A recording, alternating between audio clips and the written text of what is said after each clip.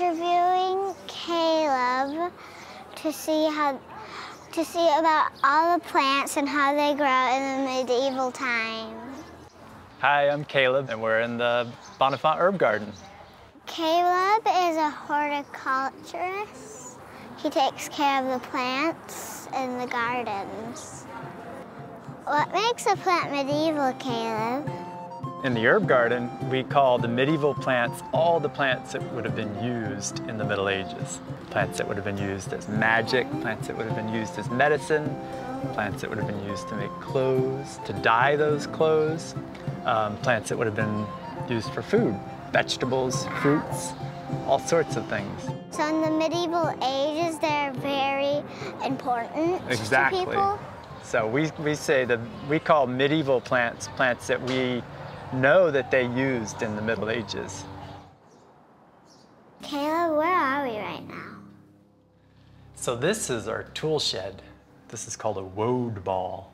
What's a woad ball? This is the plants, the leaves of the plants are all smashed up and then they're allowed to ferment for a little while. They're left in a little bucket of water and they get kind of stinky. Yeah. yeah, they ferment. But what you get from this when you put it in a water later on is you get a really good dye bath. So you get these blue dyes from this plant. Pretty cool, lots of teaching tools in here, right? We're growing plants that were used in the tapestries, and the unicorn tapestries upstairs. They're all dyed with plant material. They're from plant dyes. So in this bed, we grow those plants that were used to dye our clothes, used to dye tapestries.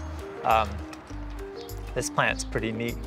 It's got that same little yellow flower. So this plant was used as a dye. Ah. What color dye do you think you'd get from this plant? Um, maybe, well, yellow's already taken over there, so I don't know. Not really. That's pretty good. A lot of people say yellow when they see the plant. But this is actually where we get the blues from. Yeah. Remember we were talking about woad and I showed you that stinky ball in the garden Yeah. shed? That's all of these leaves. These are our pomegranates and we have a couple fruits on them, which is really neat. So they would have used the little seeds, the little parts of the fruit, they would have used it as a spice. In the tapestries you can There's a see a pomegranate pomegranate. Yeah, but what's really neat is that the fruit doesn't, it looks very similar, you can see the fruit, Mm-hmm. but they have it actually like in the top of the plant and it doesn't look like this. In the real world, I got to see it, and in, in the picture, now I got to see it. It's very interesting because they have the same thing outside and inside. This is Alice signing off from the Cloisters. You